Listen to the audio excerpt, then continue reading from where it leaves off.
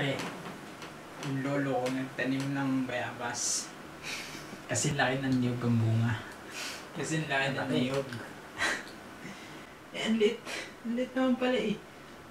Wala yan sa lolo ko. Yung lolo ko nagtanim ng bayabas na munga. Kasi laki ng pakwan. Talaga? Look. Oo, tol. Ang laki.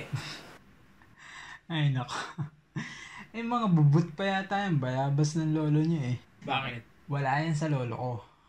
Yung lolo ko, nagtanim ng bayabas. Nung namunga, kasing laki ng itlog. Eh, yung sa lolo niya kasi laki ng niyog. Yung sa lolo mo kasi laki ng itlog. Ng ostrich.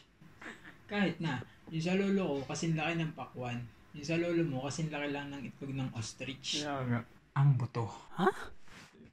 Uwi na.